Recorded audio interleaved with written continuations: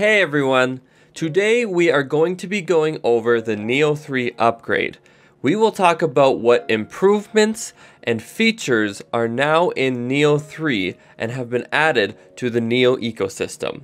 If you want to skip to any part in this video, you can hit the timestamps down below in the video, but first, we are going to go over a brief history of Neo. So first of all, before Neo, there was AntShares. AntShares first started in 2014. AntShares was a smart contract platform that ran off of the Byzantine fault tolerance system. This new system was something different from that of Ethereum, but it was made to have an efficient smart contract blockchain system. AntShares in 2017 was later rebranded to Neo, which is as we know it today, or some may refer to it as Neo 2. What makes the Neo ecosystem so unique is that it is a two token system. Unlike Ethereum, where the fees and the underlying value token are all under the same roof, with Neo, you have the two token system.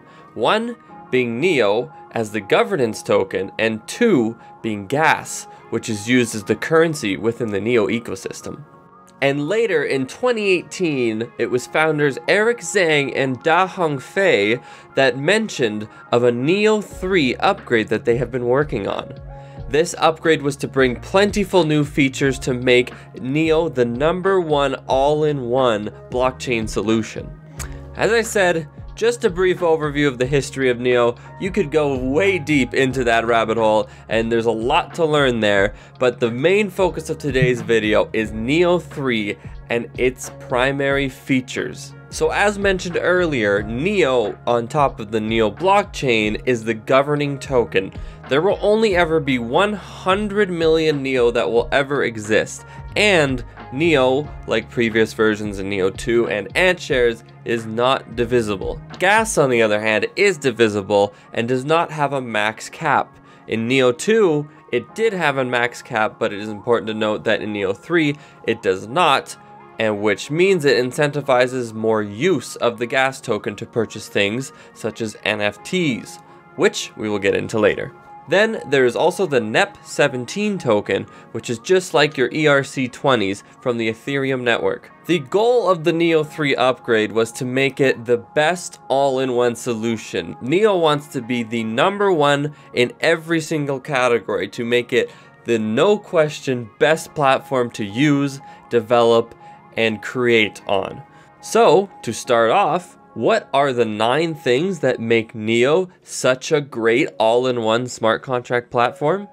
Well, we will go over it in details, but briefly, it is interoperability, native oracles, self-sovereign ID, decentralized storage, Neo name service, one block finality, best-in-class tooling, smart contracts, and multi-language support for developers.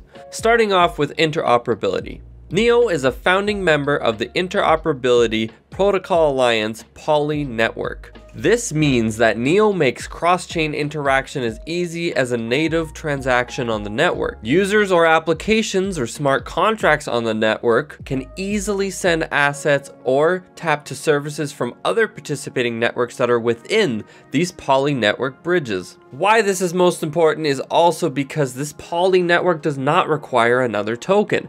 It is all built in natively to the Neo 3 ecosystem. In fact, Poly Network has already transferred $3 billion to the Neo Legacy ecosystem. If I haven't mentioned it yet, Neo 2 is also known as Neo Legacy or the previous version before Neo 3. This interoperability means that Neo can work with Ethereum, Binance Chain, and other smart contracting platforms. Next, we will talk about Neo's native Oracle service. Contracts that are developed on Neo can invoke the native Oracle contract, which can trigger a data request specifying a target URL and filter. Most importantly, these Oracle nodes are elected through the Neo Council, which will then work together to guarantee that they are truthful and reliable in their results. Having this Oracle system means that these smart contracts that are built on Neo can fetch and manipulate data on the off-chain in an uncensorable, reliable, and tamper-proof manner, and this is huge for smart contracting platforms. The self-sovereign identity, also known as Neo ID, brings identification to the Neo platform. The Neo ID system allows users to create and manage decentralized identifiers, which then they can issue claims as a data verifier, or developers can integrate attribute verification into their own applications as required. This means that users who use Neo can then tap into their verified credentials and gain access to applications without ever needing to share personalized data which means they retain full sovereignty of their data and assets. Next, we will go over Neo Decentralized Storage, also known as NeoFS. NeoFS operates on a free market principle. That means anybody can join the network as a storage node, or anyone can become elected to the ring which participates in network management. If you participate in network management, you can also earn rewards in doing so. This file storage system is customizable. That means anybody that is renting storage can choose where in the world they want to be renting that storage from to limit latency to their users and also, they can define specific disk type requirements so that it suits their needs for file storage. Best of all, this is all native on the Neo 3 chain which means developers can tap into this NeoFS network at the code level, not having to worry about the cost of persisting this data on-chain. This makes NeoFS an ideal host for web frontends, replacing old centralized hosts. In addition to that, it has its own integrated CDN service. Now we have Neo Name Service, which a lot of you may be familiar with Ether Name Service, and this is a very similar feature but this is natively built into the Neo blockchain.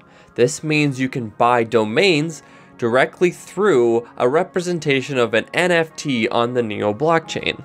Anyone is free to purchase or transfer a Neo domain on the Neo name service at any point, so you can have a domain for your website on Neo Storage or Neo FS, or you can just have a name on the Neo name service that can represent your account. And just like any other domain service, there is a complete domain lifecycle, including the registry, renewal, resolution, expiration, and permission control on those domains, just like you would have anywhere else. With number 6, we will talk about Neo3's one block finality. This one block finality is thanks to DBFT 2.0, which is built upon the old Byzantine fault tolerance system from Neo Legacy. Having this one block finality is huge, to say the least. Like the old DBFT, it requires two-thirds majority agreement between validators called consensus nodes before these new blocks can be committed to the blockchain. That means that the blockchain will never fork. And as soon as a transaction is included on a confirmed block, that transaction is confirmed and finalized and will never be reversed. That means with Neo, users can enjoy one finality block transactions with low fees that happen quickly. As soon as your transaction is included on that block, it is sent, confirmed, and your transaction is done. It is quick, easy, efficient, and it's awesome. With number 7, we are going to talk about Neo 3's best-in-class tooling. To work on the developer friendliness of Neo 3 and to take it to the next level, Neo actually teamed up with ex-Microsoft veterans to establish the Neo Global Development Enterprise, which is a Seattle based office which is purely focused on the developer experience on the Neo 3 platform. The flagship product for the Neo Global Development Enterprise is the Neo Blockchain Toolkit for VS Code, which allows developers to easily develop private Neo networks, then create, deploy, and interact with smart contracts, which can be coded in any language. As a developer myself who loves me some VS Code, I say that is pretty awesome, as well as the fact that you don't have to learn a new language. It's nice to be able to use one of your favorite languages. Along with that, Neo also boasts many other powerful community tools like built-in SDKs, compilers, code examples, as well as resources for a lot of supported languages. Since we were just talking about it, we're gonna go a little bit more detail into the multi-language support, and the last two, number 8 and 9, kind of morph into each other. We're gonna talk about multi-language support as well as building smart contracts, which of course is one of the most important things for a smart contract platform. Because of this multi-language support, you can choose a language that you love to work in and immediately go and create a smart contract in that language. That means that developers can write, compile, and deploy smart contracts that are written in C Sharp, Python, Go, TypeScript, and Java. And after compilation to the standard NEF, also known as Neo execution format, these smart contracts can be loaded within the Neo VM, which is Neo's lightweight virtual machine. These new Neo 3 smart contracts provide a variety of improvements for developers. Some examples can include the new dual level permission setting defined at the manifest and call levels, and of course, the new NEP 17 token standard, which simplifies token standards and it can enable smart contracts to invoke custom functions when tokens are received.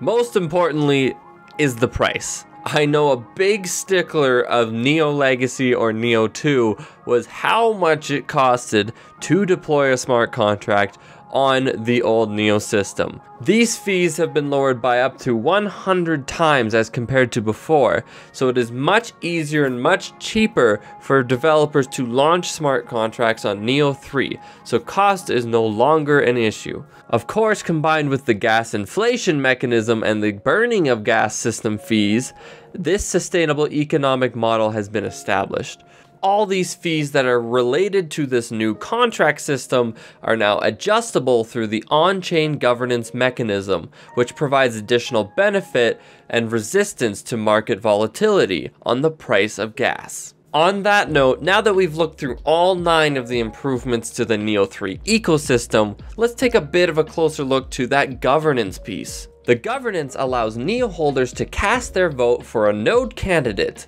these votes are then allocated to the respective council candidates, and then the top 20 candidates are voted in as members of the NEO Council. The top 7 council members with the highest number of votes will be elected as consensus nodes. These consensus nodes are responsible for processing transactions on the NEO network. If one consensus node fails, the next Neo Council member will take in line its place. For technical reasons, the votes are calculated every 21 blocks. And this period of time, as you may know, is called an epoch. The new distributed gas gives 10% to all NEO holders regardless of if they vote. 80% of the gas distribution goes to people who vote on the network and the remaining 10% goes to the 21 members of the NEO Council. As you can see here, you can actually see the current network status and how much each transaction or interaction on the blockchain will cost in NEO Gas. And these can be changed at any moment depending on market conditions. One example is here back in September 14th of 2021 when the NEO Council voted to reduce the execution fee factor, the storage fee factor, and the network fee per byte, which actually reduced network fee transactions by 80% in cost. This shows one example of this new governance mechanism to show the changing of gas fees depending on these market conditions to allow NEO to always be at a good price to use, regardless of token price. This shows how powerful and strong NEO can be. And of course, having these elected nodes, the 21 candidate nodes with the most votes, makes NEO decentralized. Anyone can try to host a node and try to get elected into that top 21. This is a big upgrade for NEO and NEO 3. There are quite a few wallets that you can use already to get started on Neo 3. The ever more popular Neon wallet is a great wallet to get you started on Neo 3. As well, if you have any tokens or Neo or gas on Neo 2 or Neo Legacy, you can use the Neon wallet to transfer from the old Neo legacy network to the new Neo 3 network. On top of that, Neon Wallet is great for using decentralized applications. Other wallets include the browser extension Neonline, as well as O3 Wallet. As well as my favorite, Nash, will be getting Neo 3 support later on this year, so pretty excited for that one. And if you want to be a little bit more technical and run your own node, you have the Neo CLI or command line interface that you can use. I won't go into a ton of details on this one, but if you want to know more about it, you can head to the link in the description to docs.neo.org, where you can learn more about the command line interface application, or the GUI graphical user interface as another way to run a full node. Also, you can head to the documents.neo.org to learn more about the technicals behind these wallets and how they work, as well as some of the SDK tooling that you can use with Neo 3. There is a lot to read up on on that site, and but there is a lot of great documentation if you want to get started on Neo 3. It is the best place to go. The Neo 3 ecosystem is already bustling, and it has started with such great projects, and more are definitely going to be coming. First of all, you have NFT projects starting up, the To The Moon universe, and the HumSwap NFT projects that are both great projects on Neo 3 that are both doing their own great thing in the NFT space. You also have the first NFT project that came from the Neo team themselves that had some Neo collectibles, and that was the first implementation of NFTs. And I am confident we're going to see plenty more NFTs on the Neo 3 ecosystem. Then you also have NEP17 coins, which have also been growing and I'm sure is going to grow more. But some prominent ones we've been seeing lately are the meme coin Nudes token, as well as the Candy token, which is going to build its own sort of gamification on the Neo 3 ecosystem. We also saw Ghost Market, which is the most prominent NFT marketplace for Neo right now, launch their token on the Neo 3 platform. On top of that, it is important to note we have Flamingo, which is another token on the Neo 3 ecosystem, but it is also currently the only DEX offering that is on Neo, and I've used it before. It works great. It's a pretty awesome platform to use. But on that note, we will probably see HumSwap as the next DEX to be implemented on the Neo 3 ecosystem. There's a lot to be excited about with Neo 3. So that is an overview of the Neo 3 upgrade and what it has brought to the cryptocurrency and blockchain space it is pretty obvious that the Neo 3 ecosystem is pretty awesome, and I know that when more people start to develop on it and discover it and use it, more and more people will start to fall in love with just how easy it is to use and how great it is to develop on. And on top of that, very cheap, quick transactions. That's really huge for a, a smart contract ecosystem. Make sure you like and comment what you thought of this video as well as what you think of the Neo 3 upgrade. I would love to hear your thoughts below. Make sure you subscribe and hit that bell notification so you can be notified for any of my future videos. Any relevant links for anything I have talked about today will be in the description below, as well as some places where you can buy Neo 2 or Neo 3, so you can get started in the Neo 3 ecosystem. But that's to be it for today. Thank you all for watching. Bye now.